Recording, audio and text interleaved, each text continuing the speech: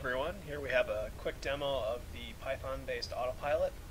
You'll notice on the left-hand side of the screen that we've got the X-Plane 10 flight simulator. And on the right-hand side here we see the Python graphical interface, which is enunciating state data of what the autopilot system is currently doing.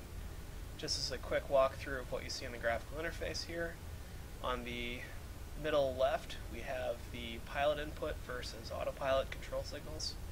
Green represents what the autopilot is currently instructing, whereas the red signal, and I'm moving the joystick here to demonstrate this, the red symbols are the motion of the user input going into the system.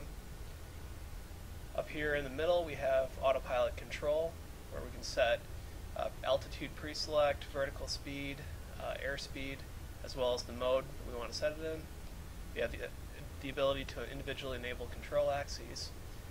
And then in the inner loop section, we'll see the current status of longitudinal control and lateral, which is currently not implemented. Lastly, on the right-hand side here, we'll see individual comms data that shows the values of parameters coming off the flight simulator. So, to get us set up, I'm going to set the altitude to an altitude pre-select of 5,000 feet. Uh, we'll set vertical speed just to start off reasonably slow at 1500 and airspeed of 180. Note this currently is not implement is not currently enabled yet. We're still on the ground. It won't be enabled until these checkboxes become highlighted. So to get us started, flip back here to auto to X-plane. We'll throttle full, release the parking brake, and start accelerating down the runway. So to, I'm going to start off initially by hand flying this, get us up to about maybe 500 feet AGL, and then I will enable the autopilot and start demonstrating that capability. So this is about V1, we'll rotate, pitch up, gears into transition up, got the airspeed coming up at about 150 knots currently, and we're about 800 feet AGL, so I'm going to go ahead and enable the autopilot. I'm letting go of the yoke, filch button. And you'll notice here as the green highlight comes in here that the throttle is currently adjusting. It's establishing the airspeed. You can see it already has captured 180 knots. And we've got the vertical speed coming in right about where we want. You'll see about 1400 for currently indicated. And it's tracking its climb out rather nicely. So again, I set the altitude pre-select to about 5,000 feet, climbing 1,500 feet per minute. As you can tell, based on the command versus status, it's holding that reasonably accurately. Now as it's climbing, I have the ability to adjust it in flight, so I can go set this from 1,500 feet per minute to 2,500. Filch enable. There you can hear the throttle up It's pitching up just a little bit, but it's going to maintain that airspeed. But you can already tell that the commanded vertical speed is 2500 and we're achieving about 2400 right now.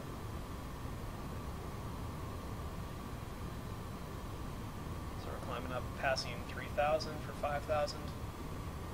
Let's set the airspeed to 220 knots to further accelerate that during the climb out. It'll keep, keep tracking that, that vertical speed that was pre-selected, but now it's going to accelerate along that path to go to uh, a new 220 knots airspeed.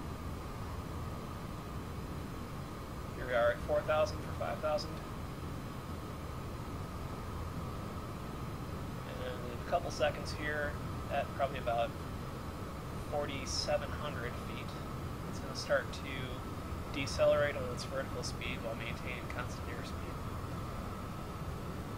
order to not overshoot when it hits the uh, target altitude.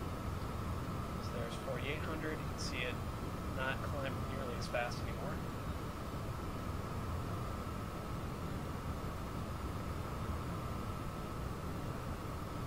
There's 4940.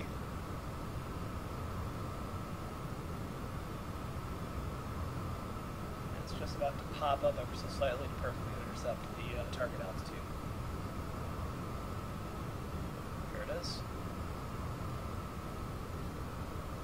Here we had about 20 feet overshoot on the target altitude. Airspeed's about two, two knots high, so that has pretty darn good performance there. Now, while I'm at this captured altitude, I can decelerate down to, say, 180 knots, hit the altitude hold button. And it's going to hang on to the altitude. We see we saw an undershoot of about 30 feet. But you can see the airspeed totally dropping off now.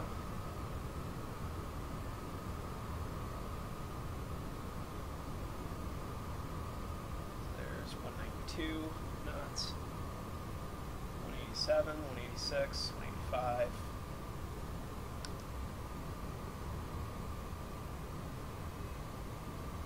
And there we go. We've hit 180 and we're still level at 4,991 feet, so it's 8 feet of air, which is better than I can fly.